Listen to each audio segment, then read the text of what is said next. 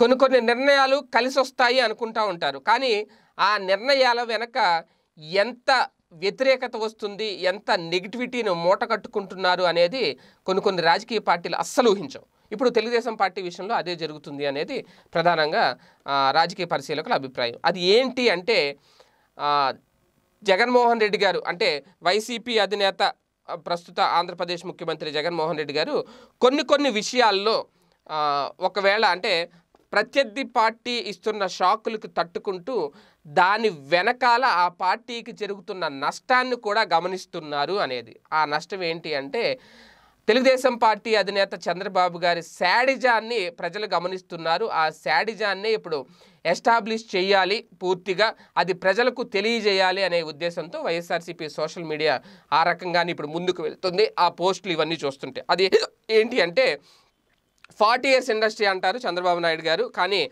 ఆయనలోని శాడిజం ఇప్పుడు ప్రజలందరూ అర్థం చేసుకోవాలి అనేది సోషల్ మీడియా వేదికగా వైసీపీ మొదలుపెట్టిన ప్రచారం.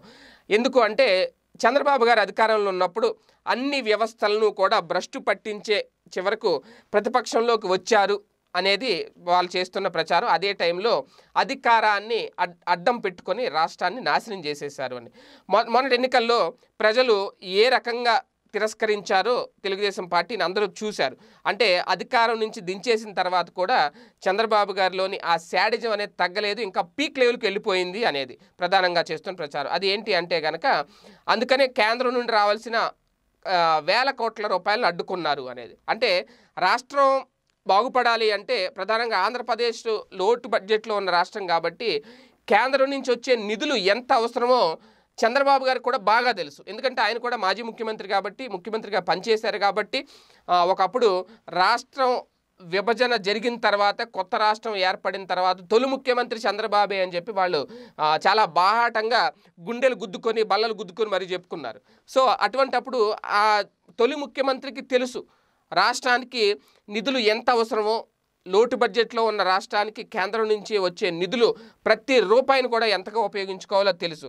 తెలిసి కూడా ఆ నిధులు రాకుండా అడ్డుకున్నారు అంటే ఆయనలోని శాడిజం ఏ పీక్ లెవెల్కి వెళ్ళిందో అర్థం చేసుకోవాలి అంటున్నారు సోషల్ మీడియా వేదికగా వైసీపీ శ్రేణులు. అంటే ఆయన అధికారంలో ఉండగానే అంటే రెండు వేల పద్దెనిమిదిలో జూలైలో నిర్వహించాల్సిన స్థానిక సంస్థల ఎన్నికలు ఆయన నిర్వహించకుండా కాలక్షేపం చేయడం. ఒకవేళ అప్పుడే చేసుంటే అప్పుడే వదిలి వచ్చి ఉండేవి ఆ నిధులు వచ్చేసి ఉండేవి ఆయన నిర్వహించకపోవడం ఇప్పుడు నానా అవస్థలు పడి ఏదో రకంగా నిర్వహించేద్దామని చెప్పి జగన్మోహన్ రెడ్డి గారు ముందడుగు వేస్తే ఆ ప్రయత్నాలు మొదలు పెడితే వాటిని అడ్డుకోవడం కోర్టుల్లో కేసుల మీద కేసులు వేయడం ఎన్నికల్ని ఆలస్యం చేయడానికి ఆ, చంద్రబాబు గారు ఎన్ని ఎత్తులు వేశారో ఆ ఎత్తులు వేసినప్పుడు ఆయనలో శాడిజం ఏంటనేది ప్రజలకు అర్థమైంది అనేది. ఏదో ఒక పద్ధతిలో అన్నింటినీ కూడా అధిగమించి ఎన్నికలు నిర్వహించడానికి రెడీ అయితే చివరికి మధ్యలోనే ఆ ప్రక్రియ అడ్డుకోవడం. ఇక్కడ గమనించాల్సిన విషయం ఏంటి అంటే అధికారంలో ఉంటే న్యాయం ధర్మం చట్టం రాజ్యాంగం ఇవేవి చంద్రబాబు గారికి గుర్తు రావు ప్రతిపక్షాలు అవసరం లేదు.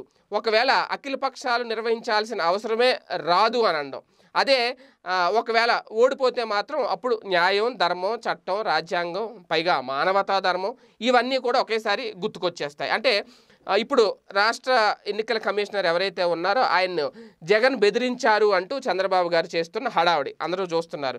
మొన్నటి ఎన్నికల సమయంలో సెంట్రల్ ఎలక్షన్ కమిషనర్ ఎవరైతే ఉన్నారో గోపాలకృష్ణ ద్వివేది కార్యాలయ ఆయన కార్యాలయానికి వెళ్ళి మరీ చంద్రబాబు గారు ఏ స్థాయిలో బెదిరించారో అందరూ చూసిందే. అంటే ప్రభుత్వ ప్రధాన కార్యదర్శి Anil Chandra Punetha intelligence DG AB వెంకటేశ్వరరావును బాధ్యతల నుండి తప్పిస్తే ఏకంగా కేంద్ర ఎన్నికల కమిషన్ గురించి ఎంత దారుణంగా మాట్లాడారో అప్పుడు అందరికీ తెలుసు.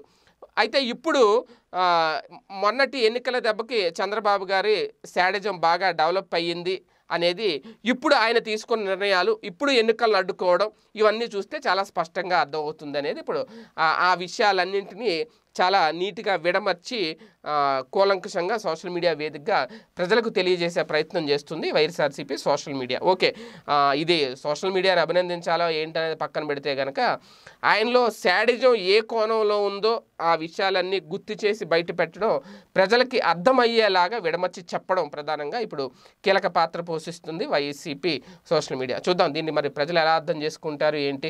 నిజంగా చంద్రబాబు గారిలో ఆ శాడిజం కనిపిస్తుందా జనానికి? లేదంటే ఇది ఒక ఫేక్ వార్తగానే చూడాలంటే ఏంటి అనేది ప్రజల నిర్ణయం మీద ఆధారపడి ఉంటుంది. ఈ వీడియో గనక మీకు నచ్చినట్లయితే లైక్ చేయండి షేర్ చేయండి. మరిన్ని వీడియోస్ కోసం మా ఛానల్ను సబ్స్క్రైబ్ చేయండి.